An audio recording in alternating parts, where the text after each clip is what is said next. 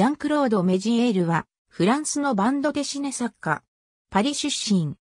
兄の勧めで絵の世界に進み、エルジェ、アンドレ・フランカン、モリス、さらに後には、ジジェやジャック・デイビスなどの漫画家に影響を受ける。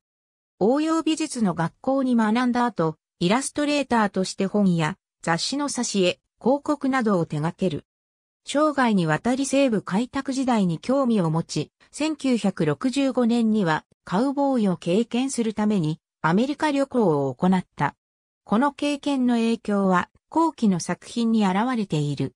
フランスに戻ると、メジエールは幼馴染のピエール・クリスタンと組み SF 超大作バレリアンロールリンヌの制作を始める。